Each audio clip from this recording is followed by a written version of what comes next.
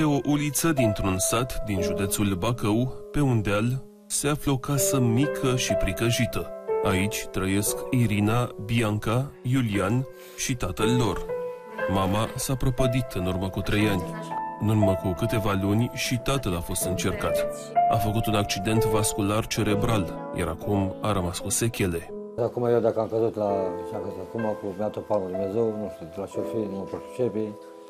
Am făcut un, un accident vascular, am avut mâna stângă paralizată. Mâna dreaptă a tatălui este Iulian, un băiat de 14 ani, blond, cu ochi albaștri, care nu permit să fie citiți. Eu de agrele, bază și cu pastile, zare și cu apa, și cu una cu lemne. Și merge și la școală. Da. Sora lui Iulian, de 11 ani, Irina, are o listă lungă de diagnostice grele. În fiecare seară, la ora 7, trebuie să luăm fragmente. Eu fac eroci. Bianca și-a luat în serios rolul de ghid și stâlp pentru sora ei. Are 10 ani și e în aceeași clasă cu Irina, în clasa a treia. Ea o pregătește și o ajută la școală. Vrem să stat și mult în spital. Nu s-a vrut șase luni de zile. Cum o ajuți pe sora ta? Că nu știe la o literă, îi fac eu literă. Îi faci o ajuns de teme? Da. Ce faceți la școală? Ne jucăm, vorbim cu copiii. Doamna, Doamna e drăguță. cum o ajuți pe Irina?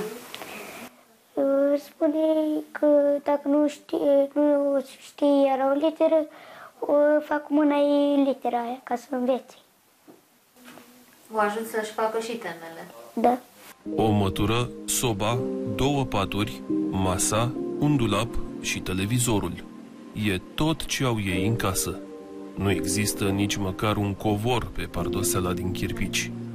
Un ajutor de nădejde pentru această familie greu încercată este Lăcrămioara Vrânceanu, asistentul medical comunitar.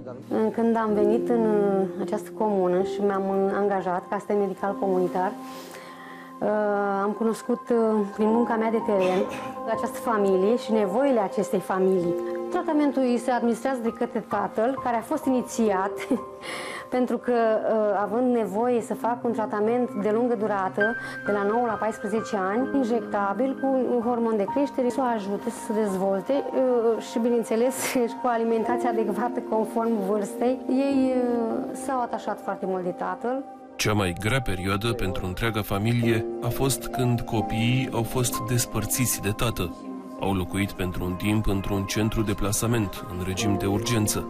Dar tot ce și-au dorit atunci a fost să ducă greul împreună în casa lor. Dumneavoastră ați vrut să-i luați înapoi. Da, Cum a fost atunci? foarte greu.